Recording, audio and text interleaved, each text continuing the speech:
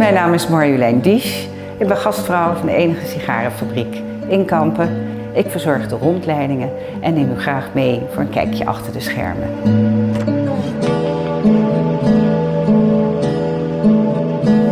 Op de begane grond vindt u de tabaksbalen die afkomstig zijn uit Brazilië, Indonesië en Cuba.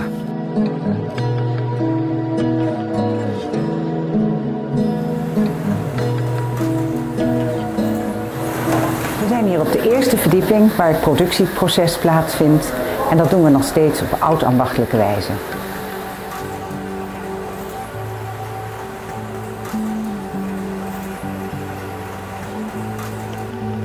Nadat de sigaren van de machine komen, moeten ze een aantal weken rusten. En vervolgens gaan ze naar de inpakafdeling, worden daar gesorteerd en ingepakt met de hand.